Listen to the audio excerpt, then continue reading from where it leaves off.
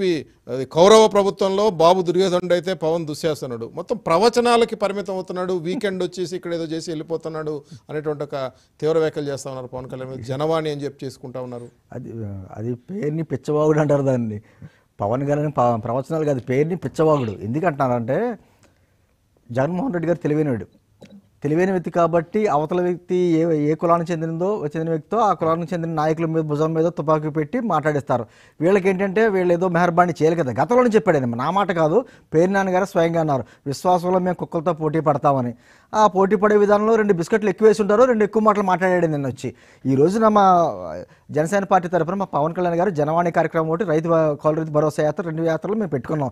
దానికి వచ్చేటువంటి స్పందన చూసి తట్టుకోలేక ఈ విధమైనటువంటి నిందలు వేస్తా వస్తున్నారు. అంటే ఏమైందంటే అంటే యాక్చువల్గా ఎన్ని డైవర్టెడ్ పాలిటిక్స్ ఈ రోజున పేరు నాని గారు ఆ బందర విషయం ఆడదాం. బందర్ బస్ స్టాండ్ అంటారు. ఎవడ బతుకని ఇది అంటే నీ బతు బతు బంద బందర్ బస్ స్టాండ్ అంటారు. నిజంగా బందర్ బస్ స్టాండే పరిస్థితి అక్కడ ఉంది.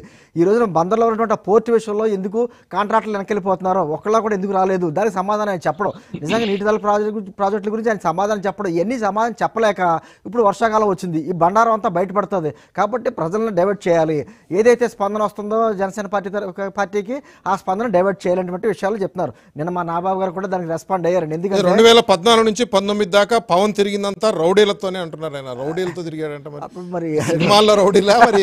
నిజ జీవితంలో రౌడీలా? సరే ఇప్పుడు చెప్తే అద్భుతమైన నటన ప్రదర్శిస్తున్నాడు ఏకపాత్ర మీద. అందుకనే ఈయన బోర్డు లంగా కాదు పవన్ కళ్యాణ్ గారి కంటే గొప్ప నటుడు పేరు నాని? అయ్యో మొదటి నటుడు అతను. అంతకు ముందు యాక్ట్ చేశాడు సార్ అతను కూడాను. సినిమాలో ఏదో యాక్ట్ చేసి మనకు తెలియదు కానీ బయటకు రాలేదు కానీ ఆయన కూడా నటుడే.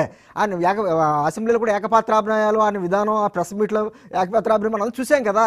మేము అంటుంది అది కాదండి. మా నాగబాబు గారు ముందు అతను ఏదన్నా ఓ డాక్టర్కి చూపించండి అన్నారు.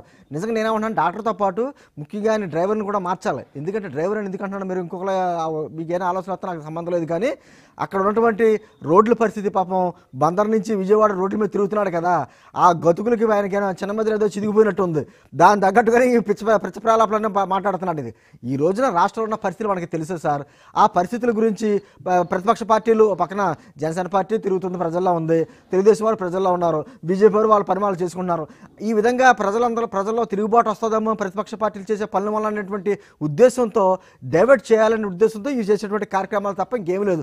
ఈ రోజు పేరు నాన్న వచ్చాడు నిన్న ఈరోజు ఇంకో నాని వస్తాడు లేకపోతే ఇంకొకళ్ళు వస్తాడు లేకపోతే అంబటి ఆల్రెడీ రెడీగా ఉంటుంటారు ఆయన రావడానికి. ఇలా అందరూ వస్తారు. అందరూ వచ్చి ఏదో బురద జాలడం వెళ్ళడం రకరకాల కార్యక్రమాలు చేస్తారు తప్ప నిజంగా వారు చేసిన కార్యక్రమాలు ఎప్పుడైనా చర్చా వేస్ట్ పెడదాం అంటారంటే బయటికి రారు. ఆ సవాల్ స్వీకరించరు. మేము కౌలు రైతులు ఆత్మహత్యలు చేసుకున్నారు మేము ఏదో వాళ్ళకి మేము భరోసాగా వెళ్తున్నామంటే అది అసలు దానికి కూడా రాజకీయ రంగు పులిమేరు.